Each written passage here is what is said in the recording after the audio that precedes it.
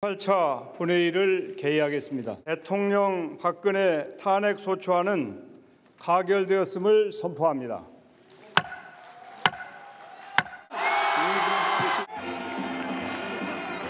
가장 뜨거운 12월로 기억될 지난 한 달.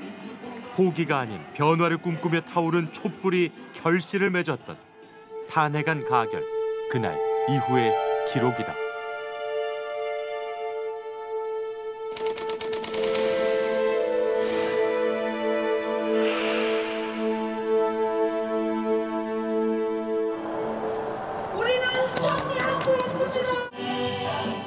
탄핵 소추안 가결 이후 소기의 목적을 달성한 듯 보였던 촛불.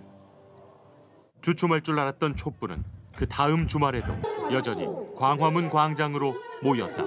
지금의 상황을 보면 우리 얼굴에서 밤이나 제대로 잘수 지금 있겠습니까? 우리나라 정부가 바뀔 것 같은 그렇기 때문에 예상이 잘 안 돼요. 아주 어두운 생각들이 많이 들어서 그래서 촛불이 꺼지면 안수 되겠다라는. 생각 때문에 계속 나오게 되는 것 그렇지만 같은 경우는 이게 탄핵이 됐으면은 뭐 대통령께서 알아서 이렇게 에, 그냥 물러날 줄 알았는데 그게 아니고 또 본인은 아무 잘못이 없다. 그러니까 국민 한 사람으로서 굉장히 답답하죠. 아직 남은 과제가 많았다. 대통령은 여전히 청와대에 있고 최순실을 비롯한 국정농단 주역 중 단 한 명도 처벌받지 않았다. 여전히 그 누구도 잘못을 책임지겠다는 이는 없었다. 앞으로 그러지 않으려면 확실히 이번에 단죄를 하고 그 다음에 앞으로는 절대로 그런 사람들이 이 땅 위에 설 수 없게 확실한 처리를 해야 된다고 생각을 하고 있습니다. 네. 이거 큰 사건이 될 수도 있는데 미래에는 그래서 이런 걸 한번 경험해보는 것도 저는 중요할 것 같다고 생각합니다. 촛불에서 희망을 본 이들은 12월 추위 속에서도 타오르고 있었다. 그런데 같은 시각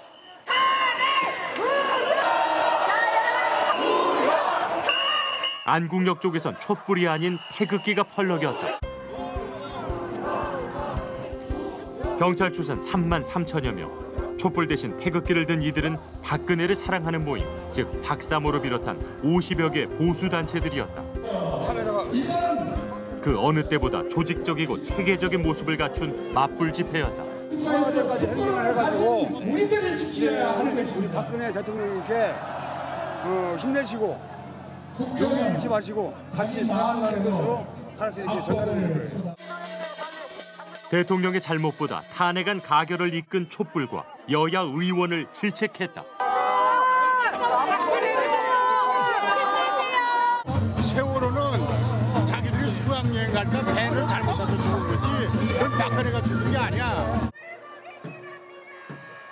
지금껏 어렵게 밝혀진 국정농단의 증언과 증거들이 모두 조작된 허위 사실이라며 한 목소리로 주장했다.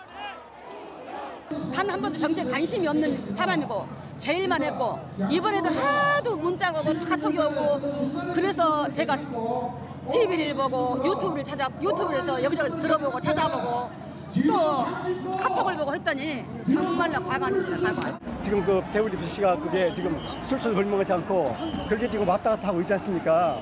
그런 것도 하나의 조작도 될 수 있는 부분이에요. 언론이 얼마나 늦어갈 수가 있어요 보니까 이, 이 방송이라는 게 보니까 취재진이 만나본 보수단체 회원들은 SNS를 통해 전국 소식을 접하고 있었다. 주로 그런 내용들을 보내주는 그런 카톡방인가요? 그렇죠. 집회 일정과 대통령 탄핵이 불법이며 이 모든 것은 종북 좌파 세력의 문제라는 취지의 내용이었다. 이런 거 받으시면 이게 다 사실이라고 다 사실 믿진 않아. 그런데 판단해서 아 이거는 이거는 어떤 신- 신뢰 신빙성이 있다 이런 부분들을 하는 거지 무조건 다 믿지는 않습니다. 보수단체들의 집회 단상에 대표적인 친박계 의원인 김진태 의원이 올라섰다. 도대체 직권 남용했다고 대통령을 탄핵해가지고 되겠습니까, 여러분? 보수단체의 주장은 정확히 청와대 그리고 친박의 입장과 맥을 같이 하고 있었다. 늘 한 목소리로 함께하던 광화문 광장에 낯선 풍경이 펼쳐졌다. 도로 하나를 사이에 두고 촛불과 태극기가 마주하는 상황이 벌어진 것.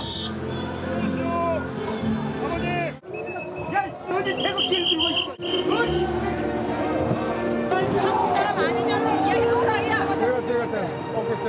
왜 저래? 태극기를 모독하지 말라고 그랬어. 왜 그렇게 말씀하세요? 들어야 될 사람이 들어야 되는 거야. 예? 들지 못할 사람이 들으면 태극기를 못- 예? 모독하는 거니까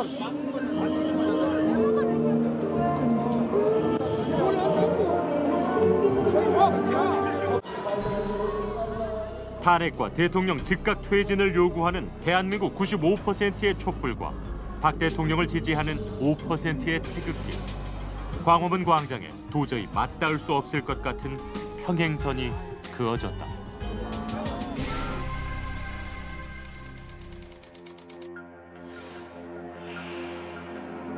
유일하게 남은 국민이 선출한 권력, 국회. 혼란스러운 전국을 타개하려는 움직임은 이른 새벽부터 시작됐다. 5차 청문회를 하루 앞둔 지난 12월 21일 새누리당 비주류 의원들의 긴급 회동이 이루어졌다. 네, 안녕하세요. 네. 지금 갑자기 회의가 잡힌 것 같은데요. 지금 어떤 회의 참석하신 건지 궁금한데요. 그김 유승민 대표 그 전권 비대위원장이 이제 당 지도부로부터 거부가 됐잖아요. 사실은 이게 이제 우리 비주류 입장에서는 어, 당을 함께 할 수 있는 어떻게 보면 마지막 카드였는데 그것이 거부가 됨으로 인해서 어저께 점심 때 어, 탈당 얘기가 지금까지는 탈당을 해야 되지 않느냐라는 얘기였는데 좀 구체화된 상황이에요. 탈당은 현실이 됐다. 31명의 의원들이 집단 탈당을 선언했다. 헌정사상 최초로 보수 여당이 나뉘어지는 순간이었다. 알잖아. 알잖아. 이게 이게 진짜 보수가 처음으로 원내 교섭 단체를 분열을 하는 거잖아요. 이게 실험인데 잘 될 거예요. 예, 예. 많이 좀 많이 좀 도와주세요. 예. 새해를 목전에 두고 국회 안에는 총 4개의 교섭단체가 자리를 잡게 됐다. 탈당의 결정보다 더 중요한 시간을 앞둔 의원들이 있다. 다음 날 있을 5차 청문회 참석 의원들이다. 음, 되게 바쁘게 움직이시네요. 지금 거의 분 단위로 스케줄 다 움직이시는 것 같은데. 아니 근데 내일 지금 이제 정말로 중요한 청문회인데 그리고 우리 국민들이 가장 분노하고 있는 우병우 전 수석의 출석을 하는데 지금 좀 있으면 또 법안심사소위원회가 있어요. 진짜 오늘 이제 준비 다 할 수 있을지 걱정됩니다. 예, 지금 짜투리라도 시간 내서 해야죠. 5차 청문회는 키맨 청문회라고 불릴 만큼 국정농단의 주역들이 증인 명단에 올랐다. 그 중심에는 최순실 그리고 우병우 전 민정수석이 있었다. 아니 이게 지금 우병우 관련된 그 의혹에 관해서 정확하게 나눌 필요가 있어요. 최순실 국정농단에 도움을 줬다든가 방조를 했던 부분이 하나 있고 그다음 개인 비리가 있는 거야. 최순실과 우병우의 접점을 찾는 것이 이번 청문회의 관건. 11시간의 청문회를 준비하기 위해 국회의원과 보좌진들의 팀워크 또한 상당히 중요하다. 자료 취합은 보좌관들의 몫. 기사 위주로 해서 좀 이렇게 추리해서 들어가시는 거예요? 아니면 기사를 들어오는 일단 많이 보고 제보도 사실 많이 들어와요. 음. 근데 지금 제보 들어온 건 우리가 앞쪽에는 제보도 되게 많이 활용했거든요. 아. 예. 그 제보자도? 예, 제보자도 만나러 갔었고. 청문회 준비는 거짓 증언과의 싸움이었다. 국민들께서 느끼는 것만큼 저희들도 엄청 답답합니다. 어떻게 많은 자료를 준비해서 예, 그런 대답이 안 나오도록 어쩔 수 없이 시인하도록 만들 수 있는 그런 질서를 준비해야 되는데 참 그게 어렵더라고요. 청문회의 가장 큰 걸림돌 위증. 국회가 아닌 한 성형외과로 달려온 안민석 의원 역시 5차 청문회 준비가 한창이다. 이곳을 찾은 이유는 최순실의 프로포폴 처방 의혹을 풀기 위해서다. 특징은 아 이렇게 생긴 거예요? 아 요거는 회사마다 달라요. 우리 음. 20짜리 갖고. 최순실의 단골 성형 의원 현장 조사가 있었던 지난 12월 16일 최순실은 최보정이라는 가명으로 김영재 의원을 방문해 프로포폴을 맞아왔다는 사실이 관계자들의 증언으로 밝혀졌다. 일주일에 몇 번 왔습니까? 일주일에 보통 한 번 열심히 일주일에 한 번. 2013년 10월부터 올해 8월까지 일주일에 한 번 꼴로 김영재 의원을 찾아 진료를 받았던 최순실. 진료 당일에는 거의 항상 프로포폴을 처방받았다는 것. 문제는 최보정 이름으로 받은 진료가 136회에 달한다는 점이다. 요건 20짜리. 과연 최순실 혼자 그 많은 프로포폴을 투약받았을까? 요 136번 처방을 받았으니까. 그건 전문가로서는 어떻게 봐요? 최순실이 맞은 것처럼 하고 다른 사람이 맞았을 가능성이 높다고 봐요. 왜 그러냐면은 음. 제가 지난번에 얼핏 뉴스를 보니까 그분이 그, 그 감옥 안에서 구치소 음, 안에서 음, 음. 어, 사쓴 게 샴푸하고 커피밖에 없다 그러더라고요. 음, 그러니까 오히려 자는 게 아니라 또 정신이 말짱해지는 약을 아 저기 저 커피 카페인을 음. 마셨거든요. 음. 그러면은 그분은 평상시에 멘탈이 상당히 강한 분이라고 봐야죠. 밝혀내야 할 또 다른 의혹. 바로 김영재 씨의 장모에게 처방된 프로포폴 처방 내역이다. 진료 차트 기록에 의하면 75세의 장모는 6회에 걸친 진료 동안 매번 프로포폴을 처방받았다. 그 최근에도 대구 그 저 시장에 불나 15cc면은 그 이거를 30분에 그 75세의 여자분한테 들어가기에는 좀 대단히 좀 어, 위험할 수도 있는 어, 용량이라고 그래, 봐야 어, 되고 64cc는 이건 치사량이에요. 이거는 그냥 이미 이 세상 사람이 아니에요. 얼마 만에 썼는지는 모르겠지만은 그리고 말이에요 전문가로서 이거는 외부로 반출되었을 가능성을 상당히 어. 암시를 해요. 어. 왜 그러냐면은 이 젊은 사람 수술을 2시간 하는데도 25면 충분했거든요. 음. 전문가를 통해 진실에 다다를 때도 있지만 이번 청문회에서 그를 발로 뛰게 만든 원동력은 바로 시민들의 제보였다. 제가 맞춘 퍼즐 조각의 대부분은 다 제보예요. 제가 그거 어떻게 알겠어요? 근데 물론 이제 그 제보 중에 어, 사실이 아는 것들도 상당히 많아요. 어, 실질적으로 한, 한 다섯 개 중에서 한 가지 정도가 어, 의미 있는 제보거든요. 그런데 어떤 게 진짜인지 가짜인지 의- 어떤 게 의미 있는지 무의미한지 확인하다 보면은 또 의외의 것이 툭툭 걸리고 의외의 것이 고구마 줄기하고 쭉 연결되고 그런 일들이 계속 이렇게 연속적으로 일어나는 것이죠. 9시 10분이지 이게. 국민은 진실을 원했고 늘 청문회 위원들과 함께 하고 있었다. 하지만 청와대는 예외였다. 청와대 관련된 자료들은 거의 안 주죠. 감추는 자 범인인 거죠. 감추는 이유가 있는 것이죠. 들을 청, 들을 문. 모든 과정을 국민이 들을 수 있는 공개가 원칙인 청문회. 과연 국민은 5차 청문회를 통해 무엇을 들을 수 있었을까?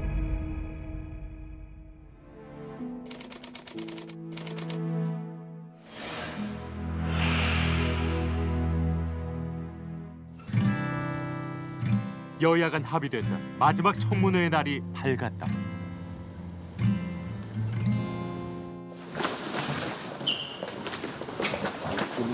정말 밤늦게까지 준비하신 것 같아요. 새벽 4시까지 했어요. 어떻게 잠을 못 잤어요. 아 모르겠어요 오늘 진짜.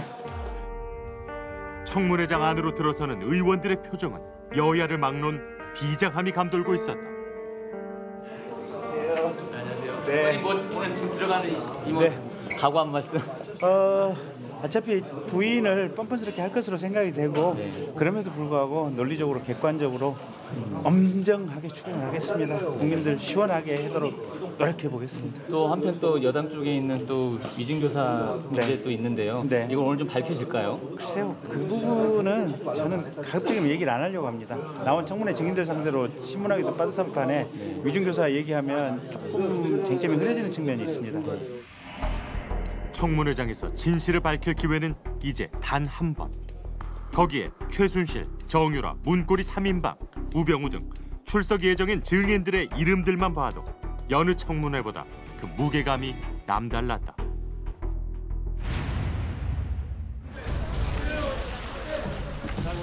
증인 중 가장 먼저 도착한 이는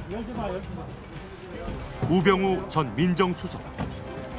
국회와 전 국민의 출석 요청에도 아랑곳 않던 그가 두문불출 약 20여일 만에 공식적으로 모습을 드러낸 것이다. 너 어디 계셨습니까? 최순실 씨 아니세요? 지난 네 차례 청문회 동안 뭐 하셨습니까? 아니, 이거 민감하게 한 말씀 하십시오. 아니, 소설이 안에서 안정하고 청문회 안 나오신 이유가 뭡니까? 기자들과의 짤막한 문답 속에서도 그는 여전히 최순실을 모른다고 했다. 세월호 사건 당시 박근혜 대통령의 7시간을 집중적으로 다룰 예정이었던 5차 청문회. 출석 요청을 받은 증인 18명 가운데 우병우와 조여우 단 두 사람만이 청문회에 나타났다. 청문회 출석을 거부한 이들의 사유는 심신회폐라는 신조어를 만들어낸 최순실을 시작으로 스트레스, 구역구토, 공황장애 등 다양한 이유들이 나왔다. 심지어 사유서조차 제출하지 않은 무단 불출석자도 여섯 명이나 됐다. 우병우 역시 2차 청문회 당시 출석 요구에 불응한 채 잠적, 이른바 가출 투쟁을 벌였다. 국민들이 현상금까지 내걸었을 정도였다.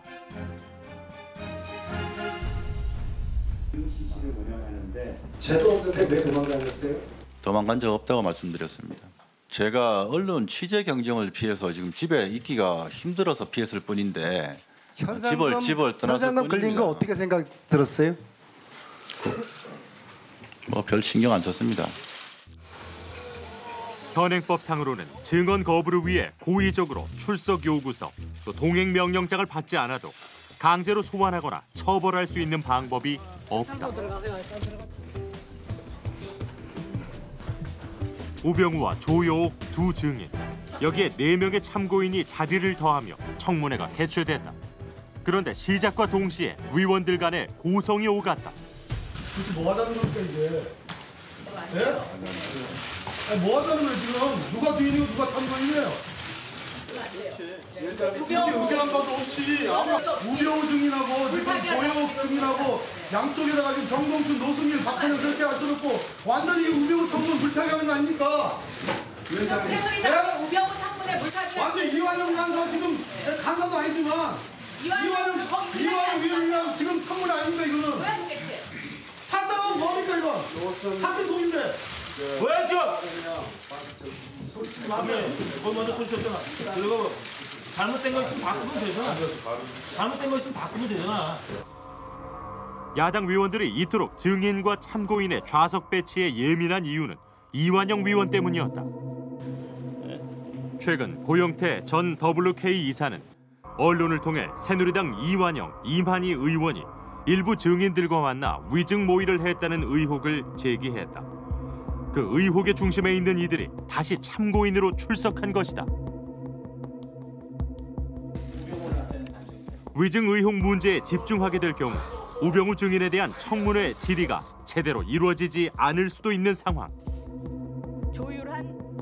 태블릿 PC 관련 참고인들의 출석 자체가 청문회 물타기 아니냐는 것이 야당 의원들의 입장이었다. 야당의 예상은 들어맞았다. 새누리당 백승주 의원의 첫 질문은 위증 모의의 핵심 태블릿 PC의 소유자에 대한 질문이었다. 그 내용의 가장 큰 핵심은 PC가 누구 거냐 또 방송이 어떻게 사용됐냐의 경위에 대한 문제이기 때문에 특검에 그 사안을 같이 조사하도록 요청하는 게 옳다고 생각합니다. 이게 이게 무슨 의사 진행 발언이에요? 예, 그 X, X맨이 또 나타났어.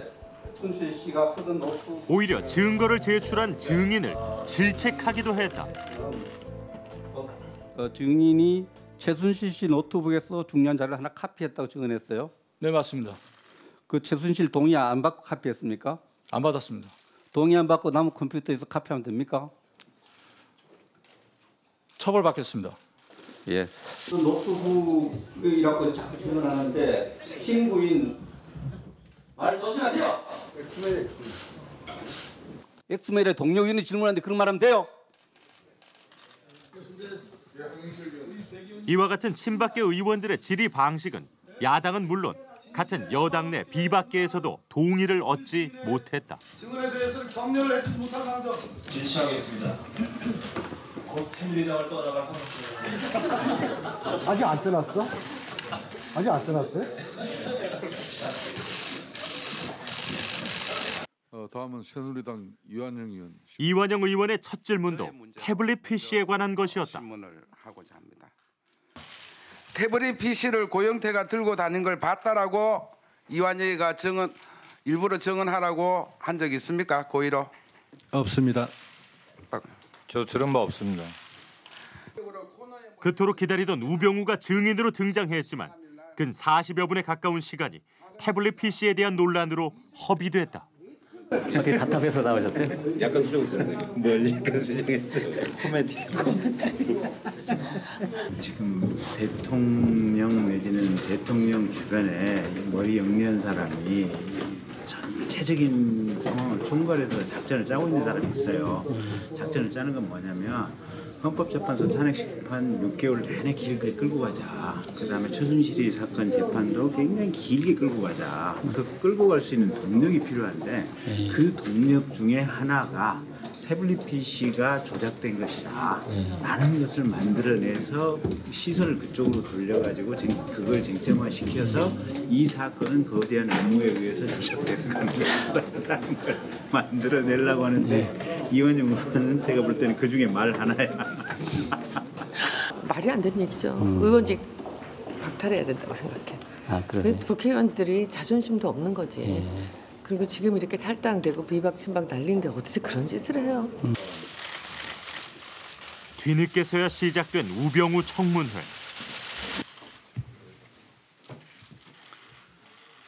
선서 양심에 따라 숨김과 보탬이 없이 사실 그대로 말하고 만일 진술이나 서면 답변에 거짓이 있으면 위증의 벌을 받기로 맹세합니다. 최순실 없는 최순실 청문회에서 그나마 건진 수화. 하지만 예상대로 그는 모르쇠로 일관했다.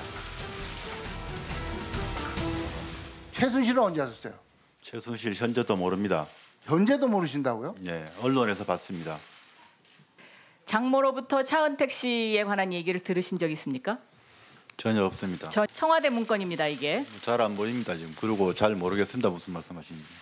매주 일요일 날 저녁에 최순실이가 청와대 들어온 건 알고 계셨어요? 모릅니다. 김 씨가 검찰에서 조사 받았다는 사실을 알고 있었어요, 모르고 있었어요? 김 씨요? 예. 그거는 잘 기억이 안 납니다. 기억이 안 납니까? 예. 안종범이가 정경영 통해서 이 재단 돈을 모금한 사실은 알고 계셨습니까? 그건 저그 당시로선 전혀 몰랐습니다. 아니 도대체 민정수석이 그럼 뭘 한 겁니까? 모른다라는 답변도 반복되는 질문 속에 미묘하게 틀어지기도 했다. 최순실을 어, 알게 된 것이 언제라고 말씀하셨죠?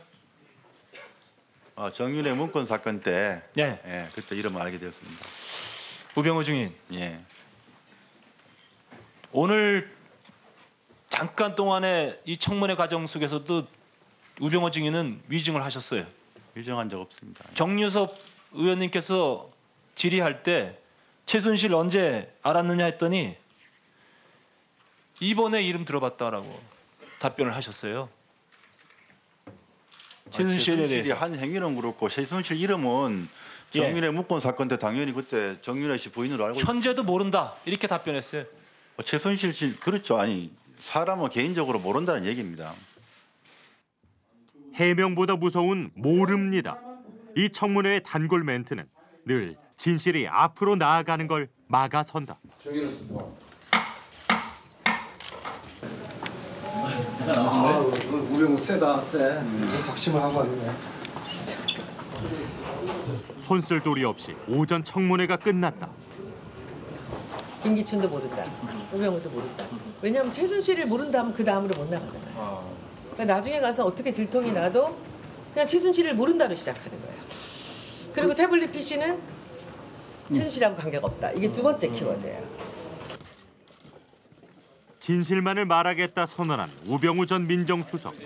그가 한 말은 이전 청문회 증인들과 똑같이 최순실을 부정하는 것뿐이었다.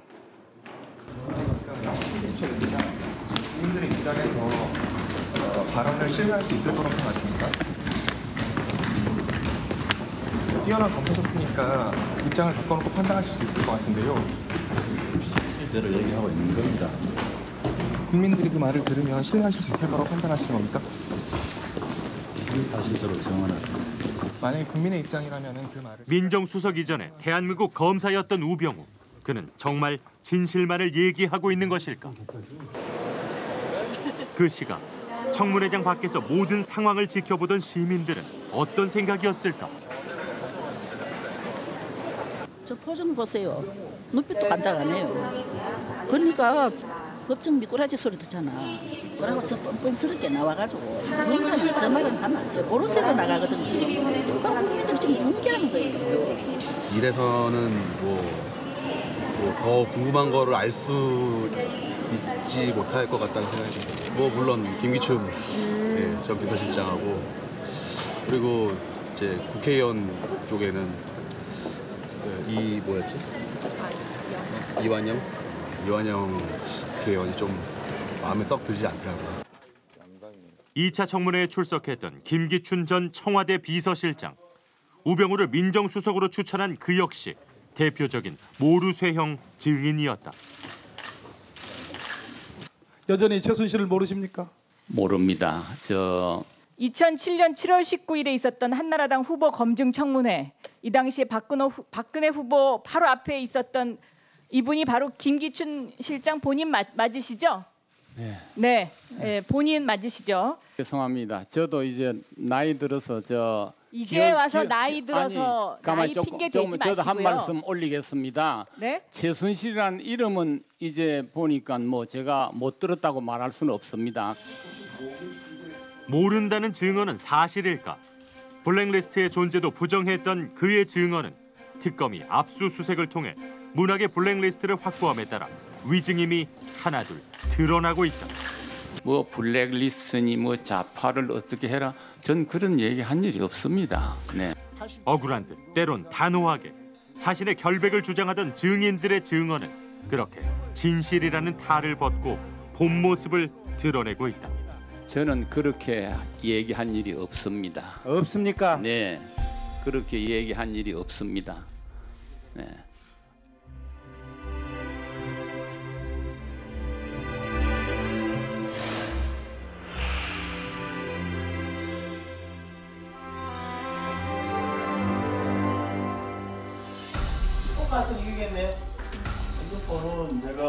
아무리 들여다봐도 보이지 않던 진실.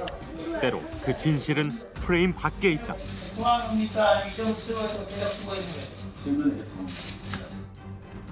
증인들의 모르쇠 증언으로 도통 진전이 보이지 않던 5차 청문회. 이때 박영선 위원에게 한 제보가 들어왔다. 지금 제보가 들어왔는데요. 이게 오늘 우병우 증인이 들어올 때 국회 그 문에서 같이 들어온 넥타이 매신 분이고요. 그 다음에 이 똑같은 분이에요. 똑같은 넥타이 매인데 우병우 증인 아들이 제대하던 날 같은 분이에요. 근데 그분이 지금 저기 앉아 있어요. 네. 저, 저, 저, 저, 저 일어서 보셔요. 네. 저기 앉아, 저기 앉아 계시는데 이건 오늘 우병우 증인의 그 하루 종일 모른다는 답변이 거짓말이라는 걸 증명하는 거죠. 발굴. 저, 저기 계시잖아요. 저기. 저. 모르쇠로 일관하던 우병우가 흔들 하던 순간 함께 왔다던 지인은 서둘러 밖으로 나갔다. 시민들의 제보는 정확했을까?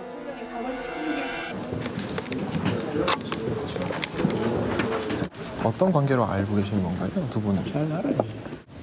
그럼 그냥 지인으로 알고 계신 거예요? 예전부터 챙겨주셨다거나? 그 가족 회사도 좀 봐도 뭐 회사 자기 사람하고 나하고 관련이 없어요. 근데 나 진짜 이거 보통 세면도 가지고 온 사람이야. 기사들이 원래 그 이름을 적어야 돼요. 누가 말을 했는지를 적어야 되니까 그래서 뭐. 지금 내 와는 박영선 의원 나참뭐 도시락까지 오신 거예요? 아니 도시락도 지- 지금 또 갖다 놨고 보세요 세면도 채소 이런 거 가져온 사람이 내가. 왜 같이 오신 거예요? 그냥 그런 것도 궁금하네요. 혼자 오기가 못 하잖아요. 그래도 이거 한 24시간 있는데 누구 한 사람 따라가야 되지 않나요? 어떤 어떤 관계실을 말씀을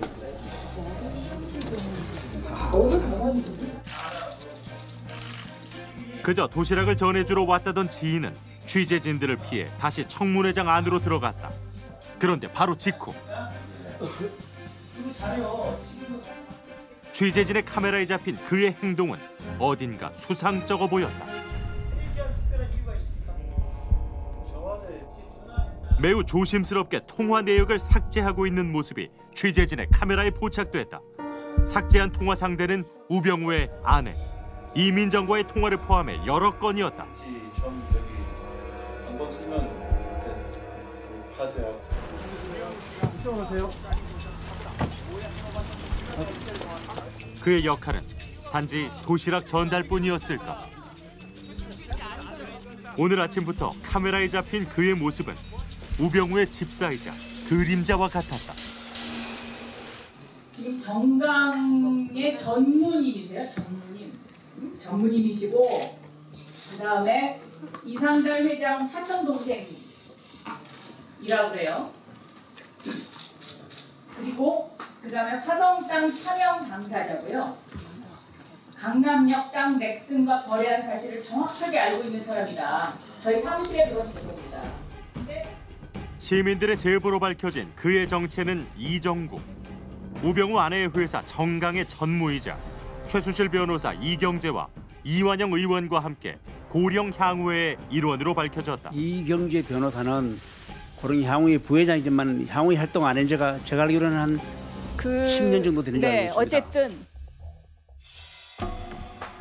그러나 실제 고령 향후의 홈페이지를 확인한 결과 지난해까지 이경재 변호사가 회비를 납부한 기록이 남아 있었다. 더불어 홈페이지에 게재된 사진 안에는 청문회 간사 역할을 담당했던 이완영 의원과 최순실의 변호사인 이 변호사가 함께하고 있었다. 향후회를 고리로 한 세 사람의 관계가 처음 드러난 것이다. 또한 이정국의 이름으로 게시된 글 중에는 이경재 변호사와 친분이 묻어나기도 했다. 청문회 사전 모의 의혹이 불거졌다.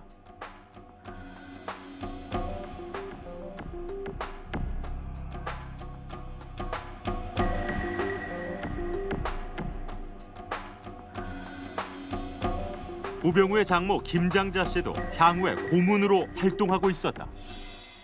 아니 그러니까 보세요. 그 지인이 그 이경재 그저 이완영 의원하고 함께 있는 그 사진이 나왔고 그다음에 그 지인은 이경재라는 사람은 고령 향후에 활동을 안 한다 그랬는데 그 활동 안 한다 그러니까 바로 그 이완영 의원과 이경재라는 분이 같이 옆에 붙어서 식사하는 그 사진이 있었잖아요. 그러니까 서로 지금 다 얽히고 설켜갖고 알고 있는 거죠. 모든 거를.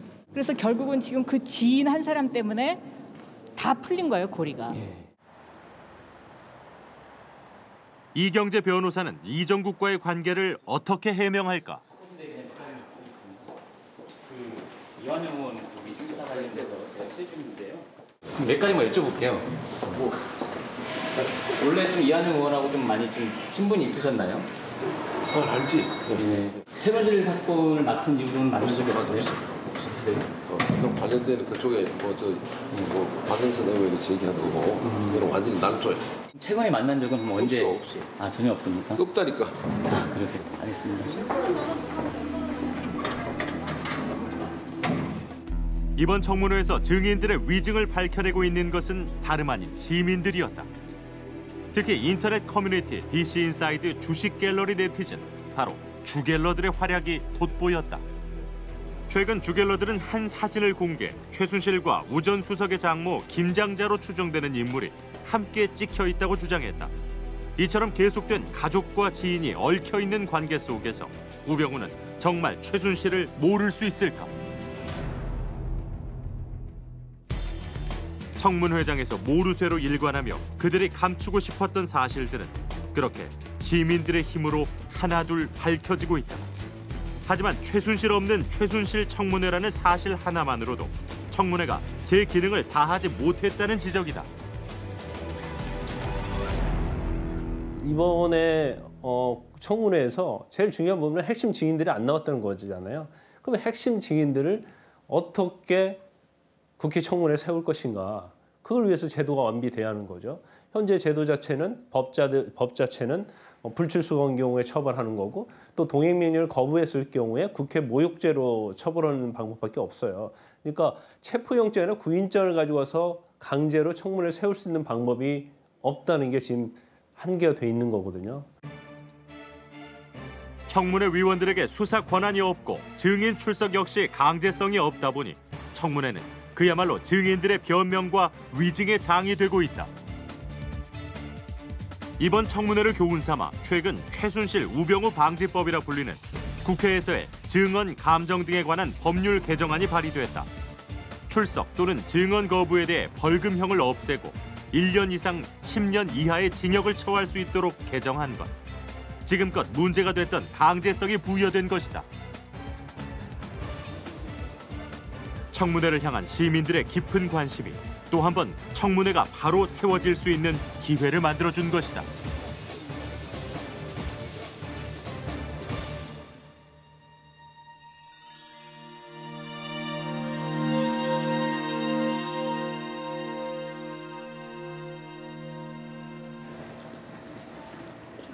지난 12월 24일 크리스마스 이브에 어린 두 딸과 함께 집을 나선 한은희 씨 부부. 사실 날씨 너무 추워가지고 오늘 이번에는 좀 어떻게 해야 되나 고민하고 있었는데 때마침 크리스마스 이브 선물처럼 제가 자유발을 하게 돼가지고 온 가족이 다 같이 지금 가고 있어요. 사람 많지 오늘도. 준비했습니다. 어, 세종대왕, 예사 세종대왕. 예, 이런 아, 그러니까.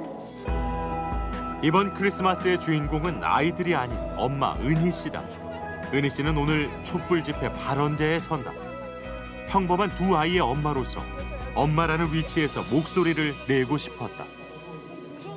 저는 솔직히 공부를 뭐 많이 한 것도 아니고 그렇게 높은 지위에 있는 것도 아니고 그렇다고 전문직을 가지고 있는 것도 아니고 그냥 정말 평범한 사람인데 저처럼 평범하게 사는 게 가장 힘들더라고요. 그래서 그냥 저의 그냥 이야기를 하고 싶었어요. 엄마의 마음으로 엄마가 되신다고 하셨는데 엄마는 그게 아닌 거 같다고 제가 경험해 보니까 엄마는 그런 게 아닌 것 같다. 그거 얘기해 주고 싶었어요. 큰 성과를 내지 못한 5차 청문회 이후 첫 주말 촛불 집회. 크리스마스에도 촛불 집회는 전국적으로 자발적으로 뜨거웠다. 있다 보면요. 저 부산에서 왔어요 그러신 분들, 전주에서 왔어요 그러신 분들 있고 또 더 멀리 오시는데요. 여기 계시는 분들. 인천 광화. 부산에. 부산 여기 보세요. 저보다 더 멀리 오시다니까요. 우리나라 민주주의를 지키기 위한 마지막 기회라고 생각을 한 거예요. 그래서 그것 때문에 같이 나오고 같이 참여하고 커피 나누게 된 거고 그 생각을 하고 있죠. 탄핵을 원하는 촛불도 또 탄핵을 반대하는 보수 단체들도 모두 광화문에서 자신들의 목소리를 내고 있었다. 곳곳에서 벌어진 청소년들의 자유 발언도 눈에 띄는 특징이다. 5.18 광주 민주항쟁은 그 당시 폭도들의 간첩들의 소행으로 이렇게 보도가 됐고 수년간 많은 사람들이 그렇게 생각을 했습니다. 왜냐? 역사는 승자의 관점에서 쓰게 돼 있습니다. 우리가 여기서 진다면 물러난다면 역사는 또다시 우리를 안 좋게 평가할 거고 위대한 시민들이라고 생각을 합니다. 시민들은 이제 탄핵과 대통령의 미래가 아닌 대한민국의 앞날을 스스로 생각하기 시작했다. 1년 지나가면 사실 우리 박근혜 씨 임기 끝납니다. 여러분들은 역사를 만들고 계신 거죠. 그럼 우리가 무엇을 만들 거냐? 왜 여기에 나와 있고 그리고 그 여기 나와서 무엇을 요구하기 때문에 애들 데리고 부인과 함께 아이와 함께 연인과 함께 친구와 함께 왜 여기에 나와 있는가를 물으십시오. 그걸 적으십시오. 그것을 그리고 정치권과 헌재와 등등에 요구하십시오. 그것이 로드맵을 걸어가는 데 있어서 길을 잃지 않는 것입니다. 촛불은 국회를 넘어 헌법재판소에 자신들의 목소리를 전달하고 있다. 헌법을 유린하는 대통령을 국민들은 그만 어, 그냥 두기 싫으니까 그리고 탄핵을 시켜야 된다 이렇게 목소리를 내고 있는 거고 그런 내- 목소리들이 잘 전달될 수 있도록 직접 이렇게 행동하고 있다고 저는 생각합니다. 가족들, 나아가 어린 자녀들과도 즐길 수 있는 축제와 닮은 집회. 이번 촛불 집회는 지금까지 보지 못한 형태의 평화적 모습을 갖추었다.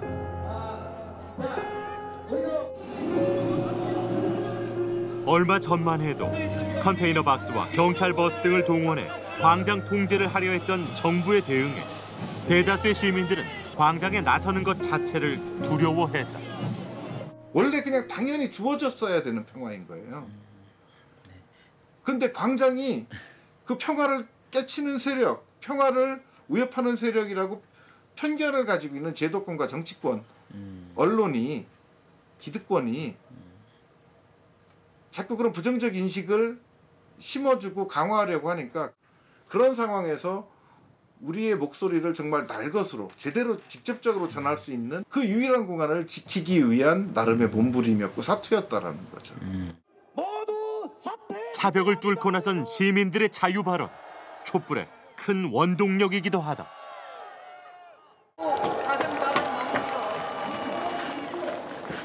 안녕하십니까. 이곳에 10월 말에 처음 왔을 때 저는 너무 평범한 삶을 살고 있었기 때문에 그 철도 노동 파업하시는 분들의 하는 말씀이 굉장히 낯설었습니다. 하지만 모두 정의롭지 못한 국가에서는 똑같은 흑수저이고 또 흑수저의 자식들이고 또 우리 형제들, 우리 우리 친척들의 얘기인 것 같았습니다.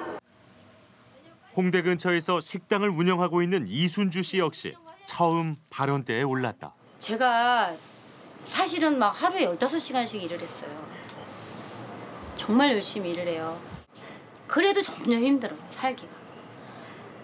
왜 뭐지? 왜 이렇게 열심히 열심히 하는데 온 식구들이 다 나가서 할머니 할아버지까지 일을 하는데 왜 다들 이게 살기 힘들지?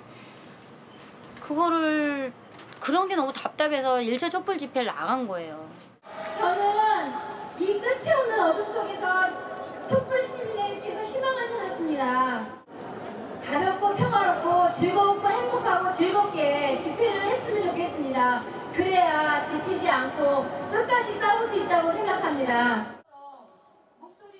국민들은 직접 소통하며 가족과 국가가 나아갈 길을 걱정하기 시작했다.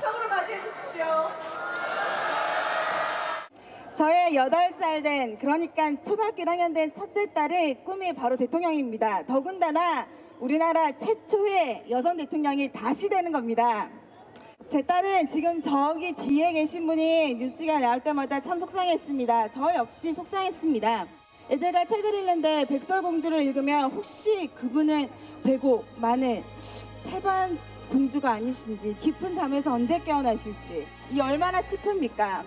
저는 Princess 시리즈가 아니라 대통령 위인전을 저희 딸에게 다시 읽히고 싶습니다. 겨울도 중반을 넘기고 있는 지금 언제까지고 시민들이 거리로 나갈 수만은 없다. 시민들이 준 변화의 기회를 통해 정치권이 바뀌어야 한다.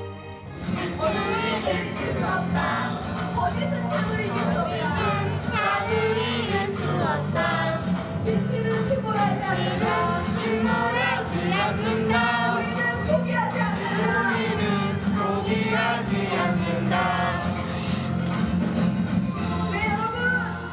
여야 제도권 정치는 광장의 열망을 받아들이지 못하고 휘청거리고 있다.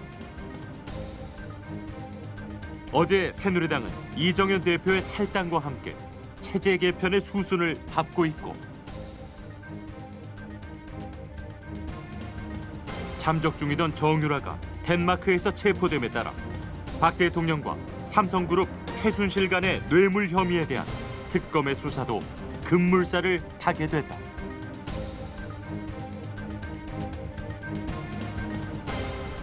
그리고 바로 오늘과 5일은 박 대통령의 탄핵 심판 변론 기일. 촛불은 공정하고 신속한 탄핵 심판을 기대하고 있다. 신성하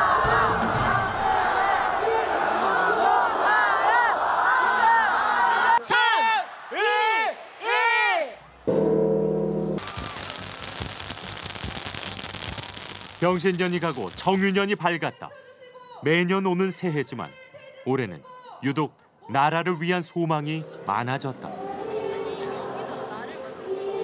세월을 선거 때면 되면 달콤한 선교 공약 발표하는 국회의 결정에 맡기겠습니다.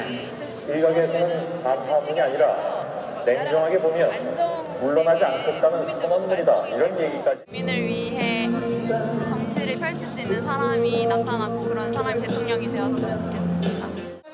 내년에는 더 새로운 새로운 거 더 좋은 대한민국 쌀의 본질은 미운 놈이 크래프쟁에 여기 있는 많은 우리 청문인들이 함께 주시리라 믿습니다. 저희 여러분 저는 나눔의 지철의 순수 투쟁위원회 부위원장을 맡고 있는 이재종입니다. 반갑습니다. 모든 게 모든 게좀이 자리에서 잘 시작. 시간이 너무 짧았. 지난 두 달간 상상조차 못했던 뼈아픈 진실을 듣고 밝히며 대한민국 국민들은 달라졌다. 근본을 바로 세우려는 시민들의 노력에 이제는 제도권이 답할 차례다. 그것만이 주춤했던 대한민국을 다시 일으킬 수 있는 길이기 때문이다. BD수첩에서는 청와대 비선의료 관련 김영재 원장을 아시거나 김영재 원장에게 시술 받으셨던 분들의 연락을 기다립니다.